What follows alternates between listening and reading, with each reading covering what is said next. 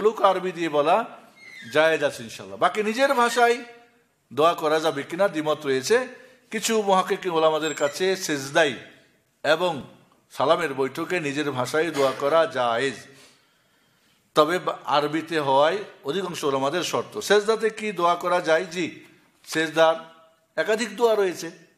সুবাহান রব্বিল আলা, শুধু দোয়া না, সুবাহান রব্বিল আলম হামদিহি সুবহন কুদ্দুস নবুল মালাইকতর আল্লাহ মাকফুলি মাকাদ্দাম তো আখার তো আসরার তো ইত্যাদি। আপনি কোরআনের দোয়াও যদি কোরআন সেজদারত অবস্থায় পড়া নিষেধ, তবে দোয়া হিসেবে পড়া যায় ইন্দামাল আমল বিনিয়াত আল্লাহ আতিনা ফিদ দুনিয়া হাসান। আল্লাহ বা রব্বি বা আল্লাহ মকফিল্লি আল্লাহ বা রব্বানা। এইভাবে মিলিয়ে অথবা সরাসরি কোরআনের জায়াত দোয়ার নিয়তে পড়া যায় রয়েছে ইনশাআল্লাহ।